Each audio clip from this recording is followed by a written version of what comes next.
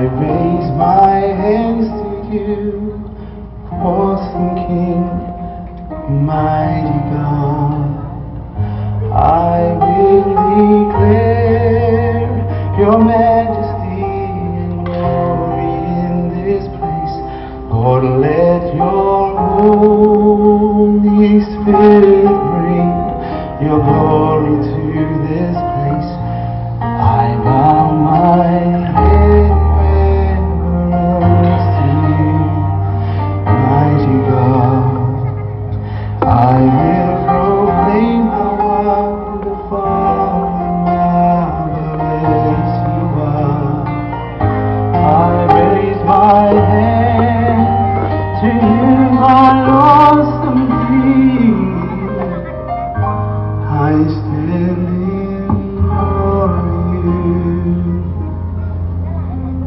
You know.